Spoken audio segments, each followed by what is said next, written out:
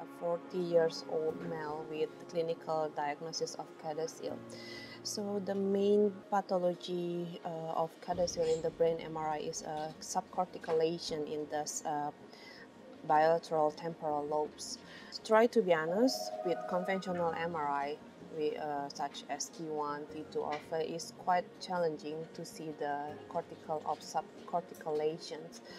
Um, there are some papers that show that DIR and PSIR can increase the sensitivity to detect subcortical or cortical lesion. Like in this patient, if we see the FLAIR image, yeah, we can see here the the subcortical lesion, but it's difficult to see the lesion here.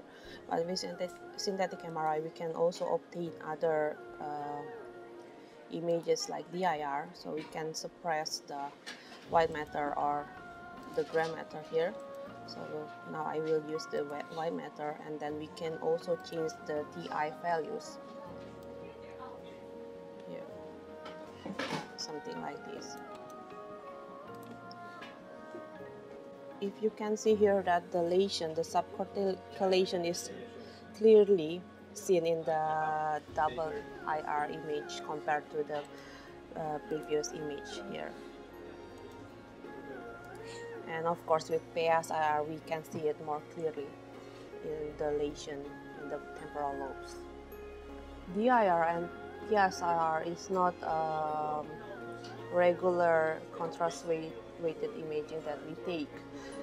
So if we want to get that, those images, then we have to scan the patient again and we have to scan the patient with longer time.